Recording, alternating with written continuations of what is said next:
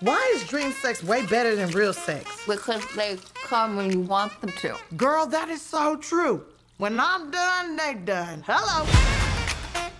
You ever think about all the stuff we've done and wonder how we did not die? That's not her real hair. It's, it's a cultural thing.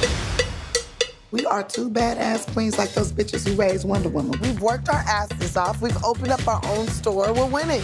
We're $493,000 in debt. What the? Walk into the room. Mel Paige and Mia Carter. I'm Claire Luna. I am going to invest $1.7 million on you. We would love a million dollars. But in my experience, business and friendship don't always mix. You don't have to worry your pretty little head. My head is not little. It's just that my breasts are humongous.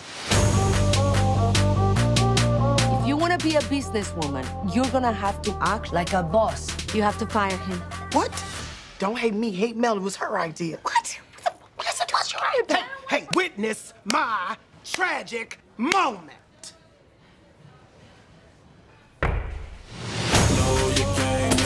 Claire Luna is introducing a new product at her launch party. She just wants to steal our ideas. We gonna break this bitch's back. Oh, yours are made of stone.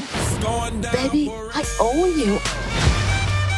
Y'all don't get Claire Luna down here right now. I'm gonna jump. She's crazy. She will jump. Oh, oh, oh I'm so glad I be planking. I'm sorry, white lady, if I die on you today.